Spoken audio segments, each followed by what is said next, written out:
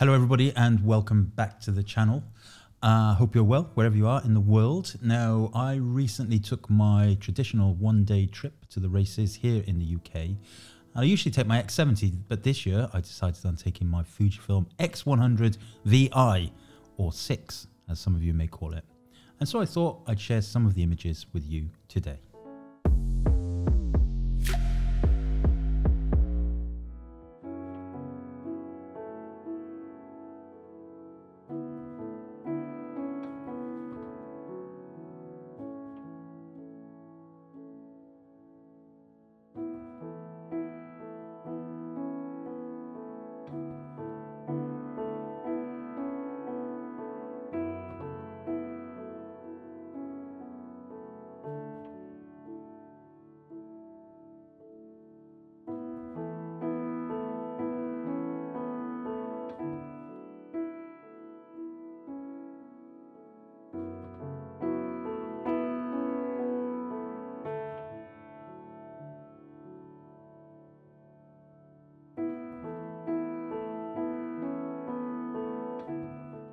All the images in this video are edited with my Film Edition 3 Lightroom presets using the Tri-X Style 2024 profile.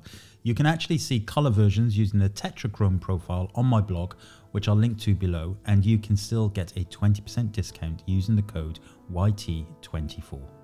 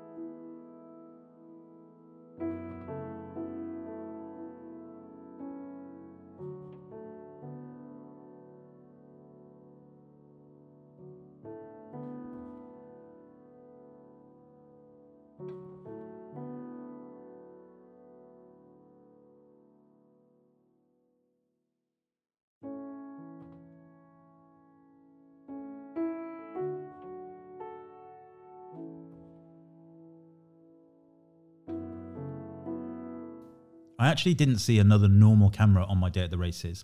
Of course, hundreds of mobile phones and selfies were on show, but I thought it interesting that I didn't spot any other small compact cameras at all. I had checked beforehand and large DSLRs were banned, however, compact cameras were allowed, and indeed, during my body check upon entering, the chap extolled the virtues of my little X100 VI, or 6, and said, Nice to see a proper camera going in for a change. Now, I had the Fujifilm X100 VI or 6 set to IBIS enabled for the full day, though given the reasonable light, it probably wasn't needed, as you'll see from the EXIF data.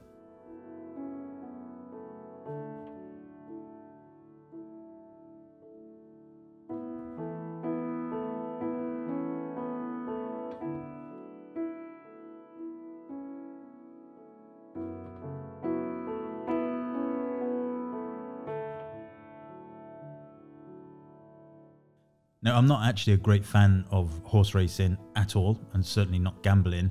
However, we go once a year. A Jolly Boys outing, and generally, I'm mostly looking forward to the curry at the end of the night.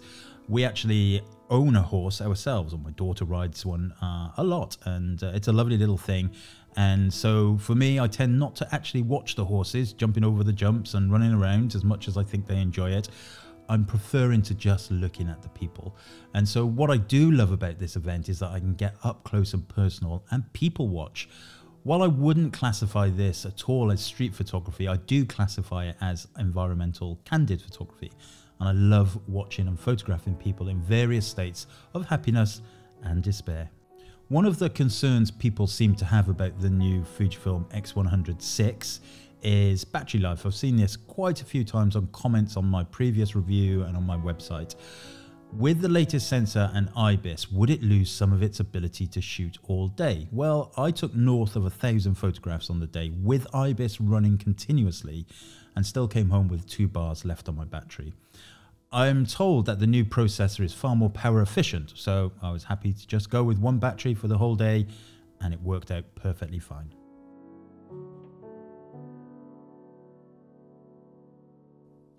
There was actually a comment on my review post saying that I was talking BS by saying the new sensor offers much more detail that that found in the X100V.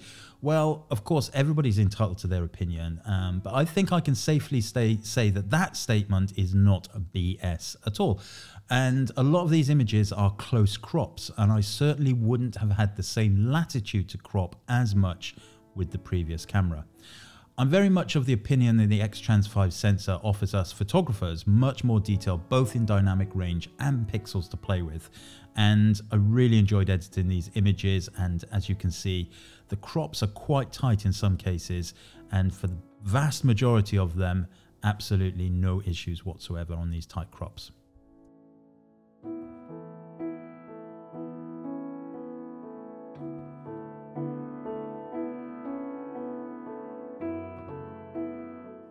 Now, I know a lot of you are still waiting for your new cameras. Uh, I'm one of those people too, actually, believe it or not. This particular camera is the loan copy from Fujifilm, and that will be going back to uh, Fujifilm UK. They'll send it back to Japan probably very soon. So I'm in the same situation. I'm still waiting for mine. Um, I'll be very sad to see this particular one go, and I will be very happy when mine finally turns up and I'm buying it just like everybody else. So I'll continue to show a few more images, but mostly this video really is to give you some more images to look at from the X100 VI or 6. And uh, I don't really need to go over everything I covered in my review. You can uh, look at that yourself another time. But in summary, the new camera is a great thing, I believe, a big upgrade from the X100V. Um, but as I always say, just because a new one is released doesn't mean the previous one becomes bad. If you have an X100V or T or S or F for that matter, and it does what you need to it to, then stick with it. There's no need for you to upgrade unless you need the new features. Uh, however, for me, I know that IBIS will be useful, certainly in low light, and I love the new 40.2 megapixel sensors. Extra versatility. See you next time, my friends.